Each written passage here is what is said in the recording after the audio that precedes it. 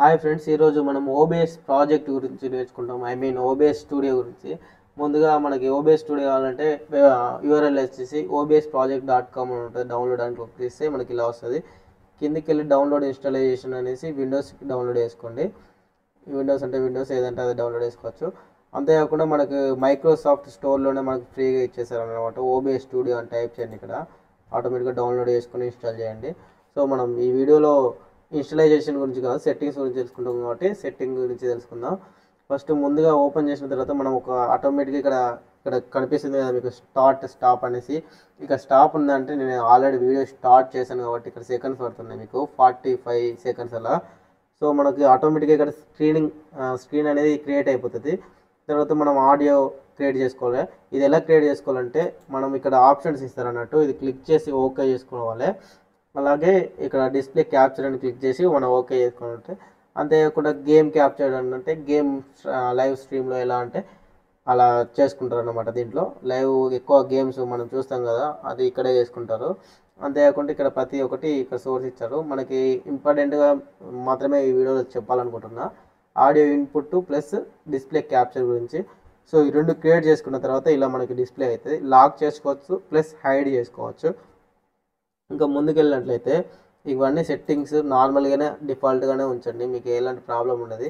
ఇంకా మనకు high quality audio input high క్వాలిటీలో డిస్ డిస్క్టాప్ ఆడియో అలా కావాలంటే చేంజ్ చేసుకోవచ్చు. దాని గురించి మనం చాలా సేపు వీడియో చేయాల్సి ఉంటుంది. సో మనం మనం ఓబిఎస్ స్టూడియో ఇన్స్టాల్ చేసిన తర్వాత నెక్స్ట్ చేసుకోవాల్సిన సెట్టింగ్స్ గురించి మనం చూద్దాం. ఇవి ఇక్కడ ఆప్షన్స్ ఉన్నాయి కదా. దీని ఇక్కడ చూడండి. ఇక్కడ నేను స్టార్ట్ చేసాను కాబట్టి ఇక్కడ స్టాప్ రికార్డింగ్ కనబడుతుంది. నార్మల్ టైంలో మీకు స్టార్ట్ రికార్డింగ్ కనబడుతుంది. డైరెక్ట్ మన సెట్టింగ్స్ వెళ్దాం. సెట్టింగ్స్ వెళ్ళిన తర్వాత మీకు ఇలా డిస్ప్లే అవుతుంది. ఫస్ట్ జనరల్ సెట్టింగ్ వచ్చేసి జనరల్ సెట్టింగ్ వచ్చేసి దీంట్లో ఆల్మోస్ట్ అన్ని డిఫాల్ట్గానే ఉంచుకోండి. ఎందుకంటే దీంట్లో ఆటోమేటిక్ ఇస్తారు. సో ఇది నైన్ పెట్టుకోండి. చూడండి అన్ని డిఫాల్ట్గా ఉండొచ్చు నెక్స్ట్ స్ట్రీమ్ వచ్చేసి స్ట్రీమ్ వచ్చేసి ఇక్కడ మనకు నార్మల్గా ఏదో ఒకటి ఇస్తారు. టీచర్ ట్విట్టర్ ఏదో ఇస్తారు. సో చాలామంది దీన్ని ఫేస్బుక్ అంతే ఫేస్బుక్ లైవ్కి ట్విట్టర్ లైవ్కి సో మనం యూట్యూబ్ వీడియో చేసుకుంటాం కాబట్టి యూట్యూబ్ ఆర్టీఎంఎస్ అని పెట్టా. ఇది ఇలానే ఉంచుకోండి ప్రైమరీ చాలామంది యూట్యూబ్ స్ట్రీమ్ చేస్తారు కదా ఎక్కువ ఓబీఎస్ స్టూడియో యూజ్ చేసి చేస్తారు. అంత క్వాలిటీ ఉంటుంది అన్నట్టు. దీంట్లో మనం యూజ్ స్ట్రీమ్ అని క్లిక్ చేసి దీంట్లో అడ్వాన్స్ సెట్టింగ్స్ ఉంటాయి. మీకు కావాలంటే కింద కామెంట్ చేయండి. దాని గురించి సపరేట్ వీడియో చేద్దాం. నెక్స్ట్ వచ్చేసి ఇది ఇంతే ఉంచుకోండి. సర్వీస్ సర్వర్ ఆటోమేటిక్గా డిఫాల్ట్గా ఇక్కడ కావాలంటే చేంజ్ చేసుకోండి అంతే.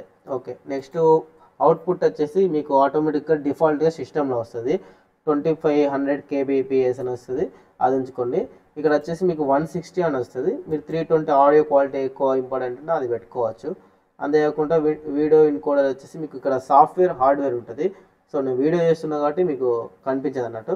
సో నేను హార్డ్వేర్ పెట్టుకున్నా. హార్డ్వేర్ పెట్టుకున్న తర్వాత మీకు ఇక్కడ బ్యాలెన్స్డ్ అనే వస్తుంది. క్వాలిటీ అని క్లిక్ చేయండి.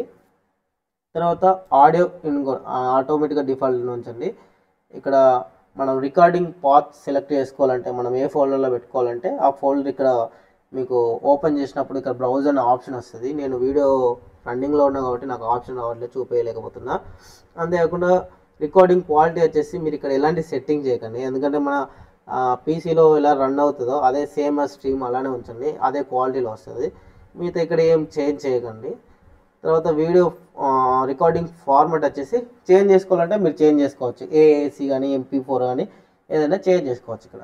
నెక్స్ట్ వచ్చేసి ఆడియో ఆడియో క్వాలిటీ ఇక్కడ కూడా మనం ఎలాంటి చేంజ్ చేసుకునే అవసరం లేదు. అంత డిఫాల్ట్గా అంటే మనం పీసీలో ఇన్స్టాల్ చేసినప్పుడు ఆటోమేటిక్గా అంత డిఫాల్ట్గా తీసుకుంటుంది కాబట్టి సో దానికి ఏదేది బెటర్గా ఉంటే అది తీసుకుంటుంది. సో మన ఆడియోలో ఎలాంటి చేంజెస్ అవసరం లేదు. తర్వాత ముఖ్యంగా వీడియో వీడియోలో వచ్చేసి మీకు ఎలాంటి ఏదో కావాలంటే నాకు వచ్చేసి నేను యూట్యూబ్ వీడియో చేస్తున్నా కాబట్టి ఇక్కడ వచ్చేసి అవుట్పుట్ వచ్చేసి నాకు సిక్స్టీన్ రేషియో నైన్ కావాలి కాబట్టి నేను పెట్టుకున్నా. సో ఎఫ్పిఎస్ వాల్యూ వచ్చేసి థర్టీ కాకుండా సిక్స్టీ పెట్టుకుంటే మీకు ఎక్కువ క్వాలిటీ ఉంటుంది. కాకపోతే మన వీడియో అప్లోడ్ చేసేటప్పుడు కూడా క్వాలిటీ కొంచెం అవుతుంది కాబట్టి నార్మల్గా థర్టీ పెట్టుకోండి అది బెటర్ నెక్స్ట్ వచ్చేసి హాట్ కీస్ హాట్ కీస్ అంటే చాలా అందరికీ తెలుసు. షార్ట్ కట్ కీస్ సింపుల్గా స్టార్ట్ స్ట్రీమింగ్ స్టార్ట్ నేను వచ్చేసి ఇక్కడ చూడండి.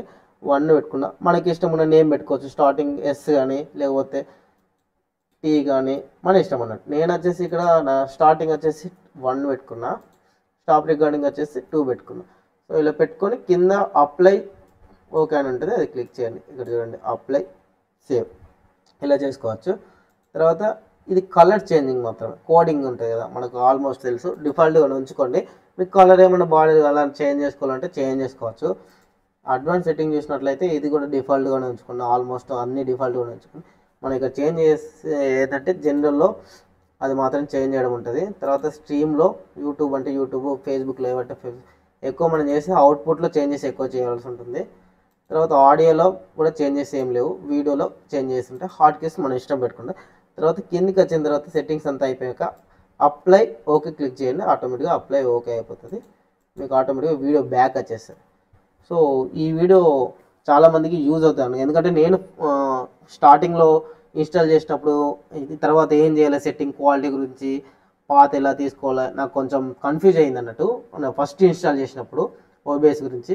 సో చాలామంది తెలియదు కొంతమంది తెలుసు. ఇంకా సెట్టింగ్స్ ఏమైనా కావాలనుకుంటే మీరు కింద కామెంట్ చేయండి. నేను ఖచ్చితంగా ఇంకా హైలో చెప్తాను నేను.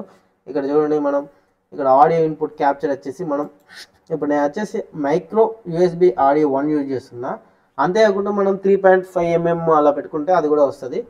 డిఫాల్ట్ అంటే డిఫాల్ట్గా ఆటోమేటిక్గా అదే సెట్ చేసుకుంటుంది. ఇదండి వీడియో. ఇది మీకు నచ్చినట్లయితే లైక్ చేయండి. తెలియని వాళ్ళకి షేర్ చేయండి. తప్పకుండా సబ్స్క్రైబ్ మాత్రం చేసి సపోర్ట్ చేయండి. Thanks for watching bye bye